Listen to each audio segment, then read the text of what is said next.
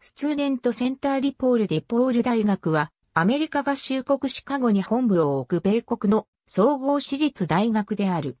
1898年に設置された。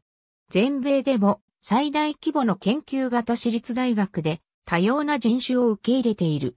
2017年の学生数は約2万2000人で世界130カ国から多くの留学生が学ぶ。楽器はクォーター制を採用している。キャンパスのある大都市シカゴという高立地を活かし、インターンシッププログラムに力を入れている大学の一つである。毎年多くの学生が有名企業でのインターンシップを経験している。人気の専攻はビジネス、マーケティング、映画学、コンピューターサイエンスなど、特にビジネスは全米でも高くランキングされている。